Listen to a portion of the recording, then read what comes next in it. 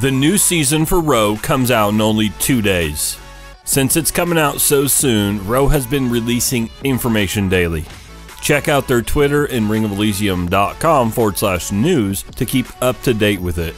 I've been keeping up to date and have some information and news for you.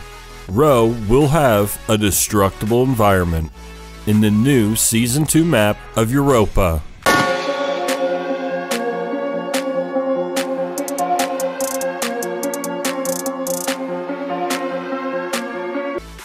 When it comes to information, Ring of Elysium loves giving it out. They, however, want you to work for the information. So they've released some pictures, and of course, a few of them are upside down. So to examine these, I will show you the photos normally, and then flip the ones that are upside down around for the real details. The first photo we're going to look at is the one with the grappling hook and BMX bike above the map. The first thing that you should be aware of is the grappling hook will have two grappling hooks, one on each side for super fast grappling usage. We can also see that while using the grappling hook, you will be able to use SMGs. This will be extremely useful, and we can see that while using the grappling hook, you can throw out your second grappling hook before completing the first grapple for quick use.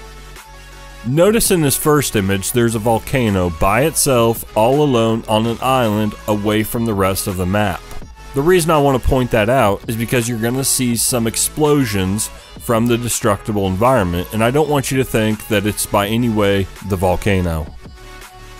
On this second picture, which is the most up to date, we get a clear visual of the dual grappling hooks, one on each side.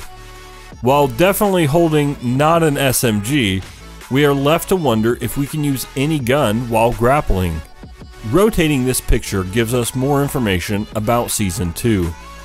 From this angle, we can see that ROE will be bringing in destructible environments.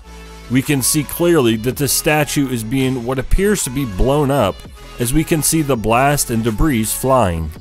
This isn't the only destructible evidence that we see with the photos that ROE has released though.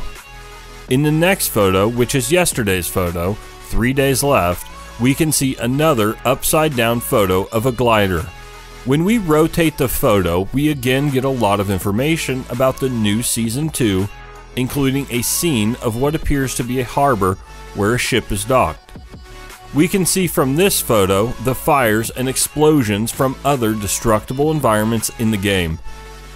There is also a lighthouse in this photo which tells us there will be great sniping opportunities in the new Season 2 map, Europa. With all this great information, Season 2 in ROE is shaping up to look like a great add-on to what is already a PUBG stomper. With over 5,000 hours in PUBG, I can say without a doubt ROE is the better one.